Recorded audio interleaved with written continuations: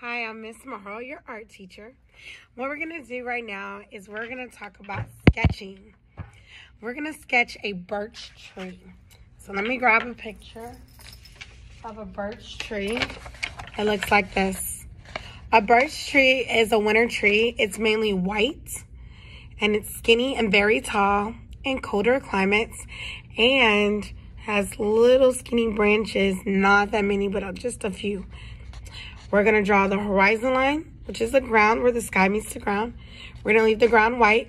We're gonna draw two parallel lines that go straight up, close together for the trees, like a rectangle. Um, it doesn't matter how you close in the top. Make sure the bottom is curvy. And then the birch tree has texture and scrapes. And remember, it's white. So we're gonna just show some value shading. And then you can color the, the sky cool colors like green, blue, and purple for nighttime sky. Um, or paint it. Or you can do a sunset, which is red, orange, and yellow. Let's try it. So I am going to be sketching with my pencil. So grab you a white paper. And grab you a pencil with a low lead. All right, so here we go, guys. So the first thing you want to do is you want to sketch your horizon line, which is your ground. And then you're going to put three trees, birch trees. So remember, they are skinny and they're tall. So I'm going to sketch two lines together. Curve it at the bottom. Maybe make it a little bit taller. Close it in. All right, this one I might make a little bit taller.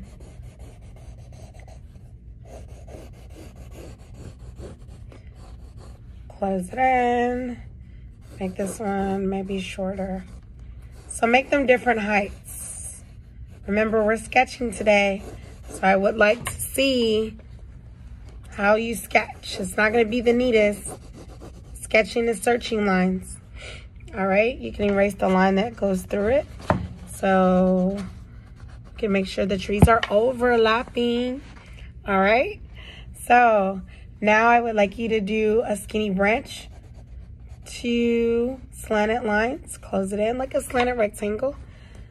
I'm just going to do one per tree. You can make them bigger later if you want. All right, the next step, you're gonna do a curvy line on both sides, a sideways horizontal curvy line. These are going to start the texture and the scrapes on the tree. We want to show everybody that this tree is round like a cylinder. It's three-dimensional. How do you make something look three-dimensional on a flat 2D paper? You add lines to show the direction of the object. So I'm adding curvy lines on both sides. But this tree is mainly white, all right? So the next thing I would like you guys to do, actually have some drawings on this side, is do a value scale. The value scale goes from dark to medium to light. So I want you to color really, really dark. So you need a low lead. Don't get a, a sharp pointy one. So color, I'm coloring it up and down. Some people like to go sideways. Press really hard and dark, color dark. Then I want you to loosen your grip. A value Scale means going from dark to medium to light or light to medium to dark. All right. So, all right. So I'm coloring dark. Now I'm going to loosen up my grip. I'm going to get medium. So now this is a little bit lighter. Going to get a little bit lighter on my pressure. I want it to fade to light. Get lighter, get lighter, get lighter. All right, there is my value scale. Let's add a value scale on both sides of the tree. So I'm gonna start right here. Dark, loosen up my grip, medium. I don't want it to go far. And then lights.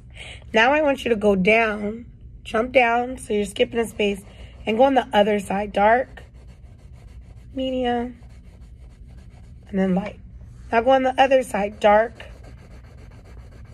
medium, light. Go down, go on the other side, dark, medium, and light. Go down. Go down, and now I'm, I'm back on the left side again because we don't want to cover the whole tree. This is a birch tree, and it's mainly white, and it has scrapes.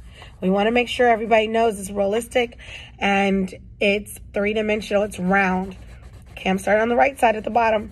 Dark, medium, light. So I'm to go up and jump over to the left side now. Dark, medium, light. So I'm to go back to the right side, but jump up. Dark, medium, and light. Jump up and go to the other side. So you're to keep jumping up and going to the opposite side.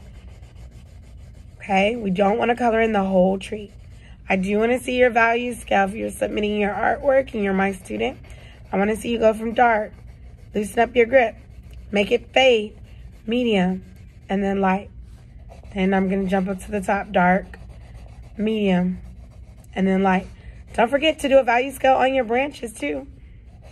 Dark, medium, light. So with the value scales, it shows where the light source is coming from. So if there's a light on one side of you, then you're going to be brighter on one side and darker on the other side. Also shows where the shadows are. The famous artist for today is an artist that's an old lady. Her name is Grandma Moses. And Grandma Moses likes to draw winter landscapes. And because we're in December, in the winter season, it's colder outside. The trees are losing their leaves. And some of the trees are bare. Some of the trees stay green all year long. Those are the evergreen winter um, trees, uh, pine trees. People cut them down, use them for Christmas trees. But this tree doesn't have a lot of leaves. It probably loses some, but it stays mostly white. And it has these scrape marks on both sides. All right, now I want you to pick a side for the shadow. All right, every tree has to have the same direction of a shadow. I'm gonna pick the right side. So I'm gonna make a slanted line. I'm gonna shade the slanted lines, going slanted to the right on each tree. That means that the light must be hitting it on the left side. If you want your shadow going to the left, all the trees need to have the shadow going in the same direction. All right, now you can make some snowballs, snowflakes, I mean, snow falling. Remember your ground is gonna be white. And then you can even paint or,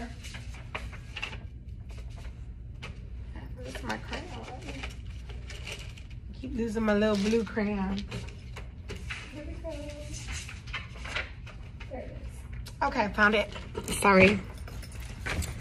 Now it's your time to either paint the background. Now this picture can be done, done a number of ways because this picture we taped, we put tape on here and we painted over it and pulled the tape off for the tree. But this picture, we are doing all the drawing ourselves because you guys are that good. I'm going to shade going side to side horizontal. You can shade around an area to make it look like it's some snow. Or you can draw the snow on there like I did. You can make your picture different colors like sunsets or nighttime sky or even a daytime sky. You're in charge of that creativity. I would like you guys to be the ones to create it and make it your style. You can put a red cardinal. You can put a moon or a sun or a winter animal below or a gate. You can get creative with the birch tree. What belongs in a winter landscape? What animals are out? An animal with thick fur, right? Maybe an owl. I'm to stop right here. Here's your project. Uh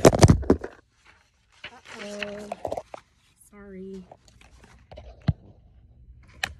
Here's your project right here. So we did the winter birch tree. I'm Miss your art teacher. Have fun. Bye.